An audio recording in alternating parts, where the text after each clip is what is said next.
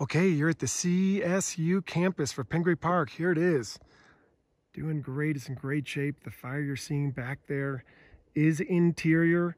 We've confirmed that for days now, but especially with the drone flying the specialized missions, uh, all the structures in here right now, these primary structures are all in great shape.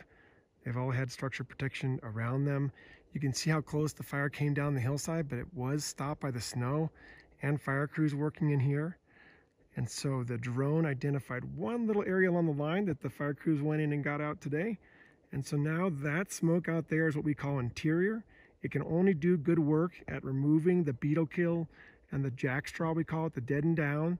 That's been a real problem in this area for years, is the lodgepole pine having a bark beetle infestation and getting into, you know, jackstraw type fuel, which is really hard uh, to prevent fire from moving through rapidly and consuming a lot. So when it can do this, when it can consume the fuel way back in the interior there, that's good because that's that's not going to impact the line at all.